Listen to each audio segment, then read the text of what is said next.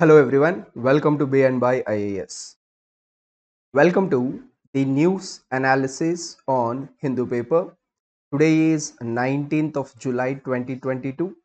So let us look at what are the articles which are relevant for UPSC in today's newspaper. See, these are all the articles that we are going to cover.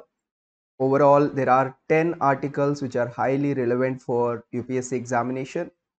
So let us look at them one by one, starting with the continuation of Q on presidential elections कल वाला news में देखा था हमने presidential का election president for the post of the president elections were held yesterday that is 18th of july so let us look the continuation of the same see this is one of the advantages of covering the newspaper daily that we get the entire story clearly because whenever some contemporary news happens it has the connection. So connecting these dots will help us in the examination. And then we will be looking at monkeypox case cryptocurrency and crypto laws and then india and russia relations particularly with respect to the oil payment and npas and issues on msp minimum support price and our defense exports india china talks with respect to de-escalation in ladakh region and minority status in india is a state dependent says supreme court. And finally the international organization that is shanghai cooperation organization. Let us look at these articles one by one. Starting with the very first one see yesterday the presidential elections have taken place in which 99% of the polling has happened see the polling and everything is not relevant for us but what is relevant for us is the constitutional provisions regarding the president and the electoral college which we have discussed yesterday and how the votes of MLA and MP are calculated. Plus, when it is declared, when some person is declared one, that is when they got electoral quota. So now, what are the constitutional provisions related to the president? Of course, president is part of union executive, which comes in fifth part of the constitution, and he is the head of Republic of India and we follow parliamentary form of government that means he is a nominal head apart from that the articles which does deal with the president includes article 54 which which deals with the election of the president which is conducted by election commission of india and 55 the manner of election of the president that is proportional representation by means of a single transferable vote. This is the method that is generally followed. And the term of the president, five years generally. Then eligibility for re-election, Article 57 and finally 58 deals about the qualifications for the election as president. Now, electoral college, yesterday we have already covered it, so I'm not going to go much into it. It includes the elected members of both houses and elected members of the state legislative assemblies as well. So here please remember the nominated members are not there. And coming to the value of vote of MP and MLA, we have seen it yesterday. So we are going further. See, this is a continuation. If it repeats, I will try to cover the functions and roles of president in the coming lectures. Next, the second one is second monkeypox case in Kerala. See, it has erupted and the government got alert and it is showing 21 days quarantine and observing, keeping a surveillance on those candidates and doing the tracking. Now, we need to know little bit about the disease. Say it is a zoonotic disease meaning it transmits from animal to the human and it was first noticed and it is mainly endemic to Nigeria. The symptoms include people break out in rash which looks like chickenpox, but the fever, malaise, and headache from monkeypox are usual usually more severe than what we experience in chickenpox infection. Coming to the transmission, it's mainly zoonotic means primarily it is with the contact of the animals, their blood or bodily fluids and eating uncooked meat. Of course, human to human transmission is also possible. That is one of the reasons why it is becoming deadly. Then coming to the treatment, there is no specific treatment and there is no vaccine for the same disease. So these are the information that we need to know. Next, the third article is crypto laws needs global framework, says finance minister. First of all, let us understand what are cryptocurrencies.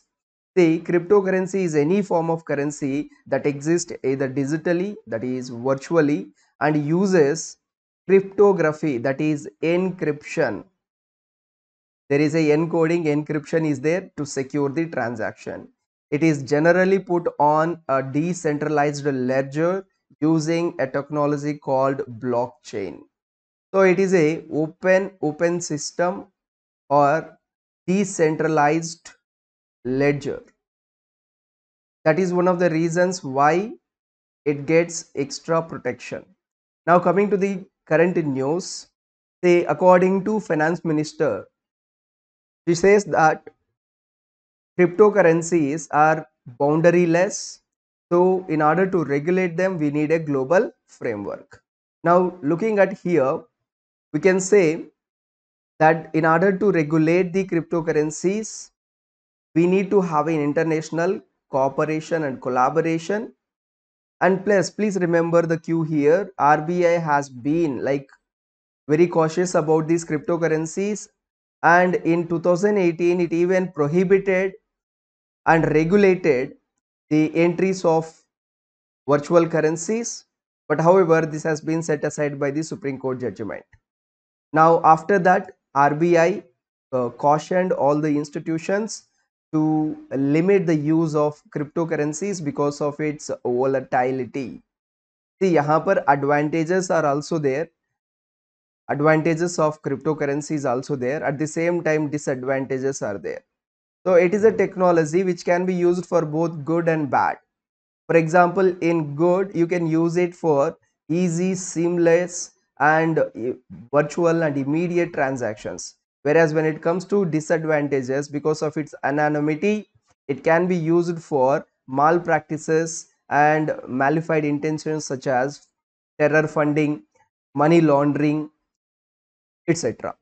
So this is the issue why it needs to be regulated.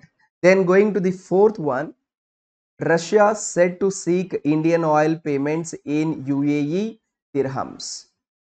See, you know that there are sanctions on Russia due to the ongoing war between Russia and Ukraine. As a result of it, many Western nations have put sanctions on Russia. So, as a result of it, Russia is financially choked.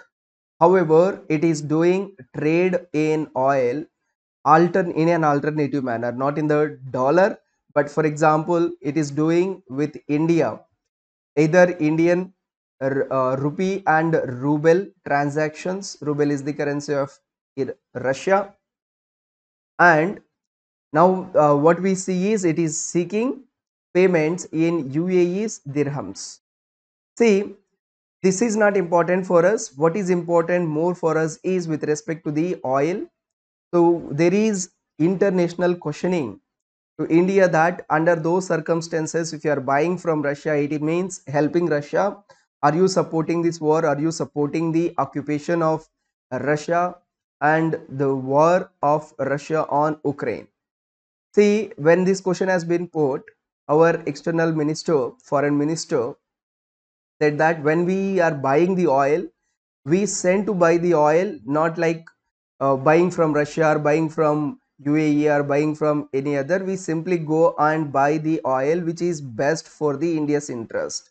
That is, we need to reduce the cost. And another thing is India is heavily dependent on oil. जैसे 85% of oil requirement जो है that is met through imports only. so as a result of it if there is any volatility or if there is any instability in sources of our oil then what will happen it will have serious impact on our energy security. That is the reason why the government has been trying to diversify its supply of uh, resources with respect to particularly oil and natural gas. And we wanted to have more gas into our energy basket because it is cheaper plus comparatively cleaner compared to your crude oil. So that was the main uh, reason. And that is the reason why we are buying the oil from russia तो यहाँ पर हम proper analysis कर सकते हैं what are the positives and what are the negatives that is arguments in favor of buying oil from russia which are in the interest of india particularly domestic interests of india and negative implications that is with respect to the ongoing sanctions and ongoing protest on russia's invasion in ukraine तो इन दोनों का analysis कर सकते हैं हम। Now moving on the next article is government RBA measures aid NPA recovery see we need to understand what are NPAs and implications of it what are the loss related with NPAs here the NPA होता क्या है? Any loan और any advance which is taken by any body if the person default person or an organization default that is, they are not paying either the interest or the principal amount. Then after a period of 90 days it converts into non-performing asset. That means which becomes which is a liability which is not at all performing which is not at all yielding any return be it interest or principal amount. Such all all such payments or all such arrears we can call them as npas okay now to deal with npas India had made a lot of laws and provisions are there. For example, uh, SARFAESI Act, which provides for ARCs, and uh, we have Insolvency and Bankruptcy Code 2016. Later, it has been amended also. There is the concept of bad bank, which can buy these NPAs and then later recovers them. So, in this manner, various provisions are there, and we can do the same analysis of NPAs what are the implications of NPAs on the economy of the country. See, as a result of these stressed assets or non-performing assets, the banks are not able to give loans and their uh, their uh, sheets, balance sheets are really stressed. So this is having a negative implications on the economic growth of the country. So this is all about this article. Moving ahead, the next one is panel on MSP and natural farming setup. Say it was in continuation with that farming laws repealing of the farming laws now we need to understand here what is msp that is minimum support price and how it is determined. What is the mechanism behind it?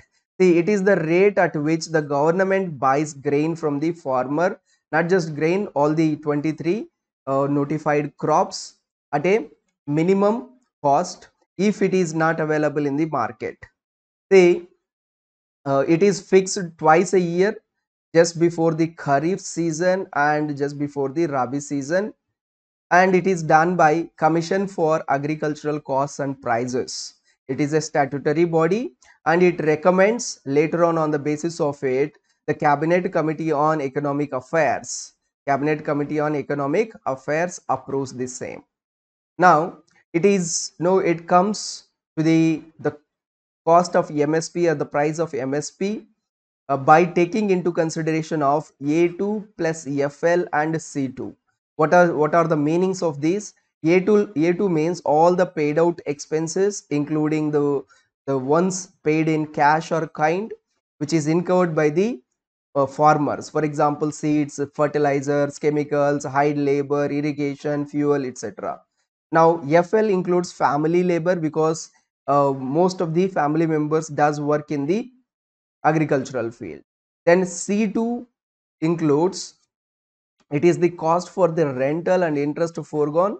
So all three of them included and msp is determined and it is determined at 1.5 times of it so that the farmers can get some profit.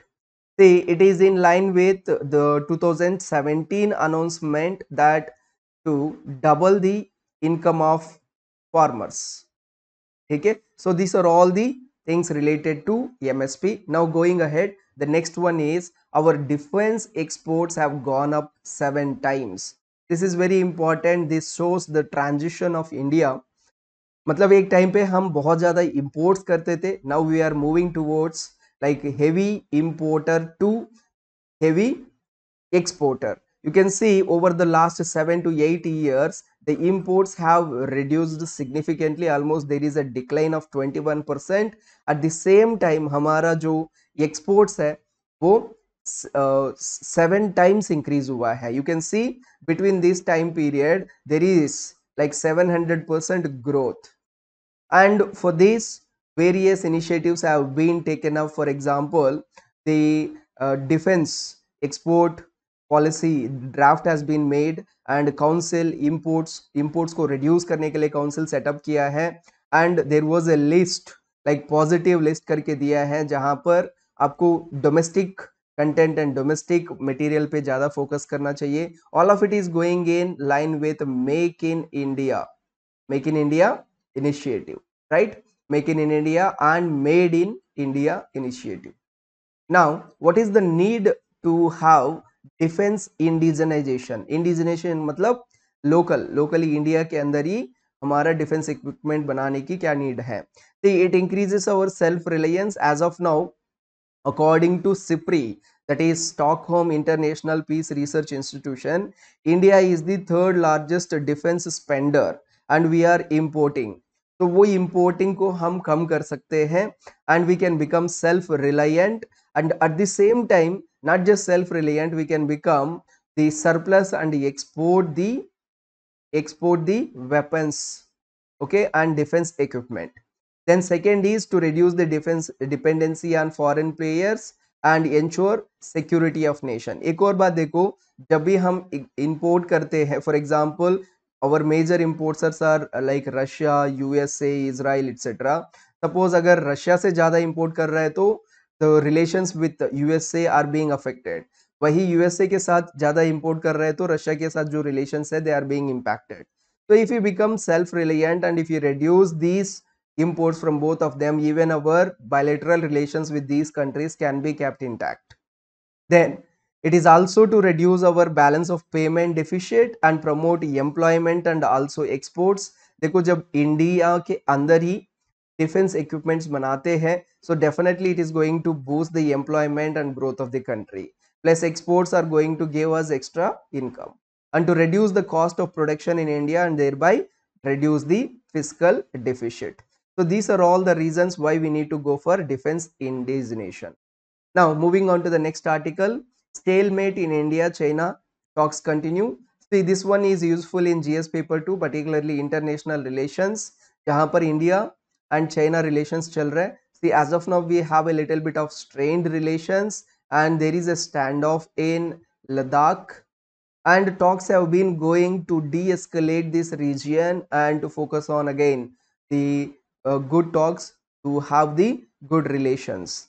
See, यहाँ पर so far we had like almost 15 rounds of talks and both the sides are collaborating. See for example on the sidelines of g20 foreign ministers meeting also we met and discussed the issues along this lac line of actual control.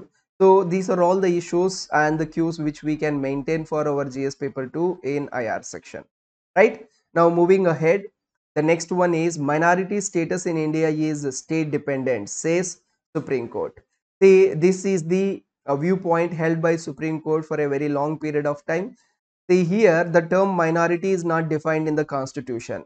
However, it recognizes the religious and you know, linguistic minorities and even protects them through 29 and 30th articles that is which are in the fundamental rights part 3 of the constitution. See, as per TMA Pai Foundation versus State of Karnataka case, Supreme Court held that minority is either linguistic or religious is only determined with respect to the state. Kyunki if you are taking entire country, entire whole nation as a one then each and every person will become a minority in another for example here in the words of justice uu uh, lalit it, uh, he says that the every person in this country becomes minority in one state. For example a person is hailing from let's say uh, maharashtra that person can be a minority in uh, karnataka with respect to the language language that they are speaking. So on the basis of it we cannot have the overall uh, india level uh, status for minorities. It is a state dependent one. See as of now the government has identified the following religious minorities they are Sikhs, Muslims, Christians, Zoroastrians, or Parsis, and Buddhist and Jains. Please remember linguistic minorities को recognize नहीं किया है because India has so many linguistic minorities. However, for the protection of linguistic minorities, we do have a constitutional office under 350B, which is a linguistic officer for minorities. ठीक है ये पूरा information जो है minorities से related है and article 20 and 30 जो है उनका कल्चरल एंड एजुकेशनल राइट्स को कल्चरल एंड एजुकेशनल राइट्स को प्रोटेक्ट करते हैं। So this is all about it. Now let us move to the last section of it that is Shanghai cooperation organization. तो इसके ऊपर 2021 मेंस में question भी आया है इसका यूटिलिटी uh, एंड इसका सिग्निफिकेंस बेसिस पे। Let us do the little bit of background search of Shanghai Cooperation Organization. It is a permanent intergovernmental international organization uh, mainly led by uh, China and Russia. Rest of the countries include Kazakhstan, China, Kyrgyzstan, Russia, Tajikistan. These were known as Shanghai Five. Then later India and Pakistan became members in 2017. As of now, there are observer states and they are pushing for uh, no full-time membership of Iran and Belarus. Okay? So this is all the uh, no, uh, background study of this Shanghai Cooperation Organization. Now coming to its importance and implications, we can use this uh, intergovernmental organization where both the Russia, China and India, all three of them are members here we all three have uh, interest in Central Asian regions stability where we can cooperate and reduce. And this uh, Shanghai Cooperation Organization ka one of the objectives hai that is to uh, reduce global ter terrorism eliminate global terrorism. Wahan par bhi hum contribute karke we can work together. So this is the importance of it. Rest of the things you can go ahead with the uh, little bit of research on Shanghai Cooperation Organization that's it guys i hope it is useful if it is useful please like share and comment uh, your opinion and how it has to be covered in the coming sections. That's it for today's session. Thank you very much. See you in tomorrow's session. Bye everyone.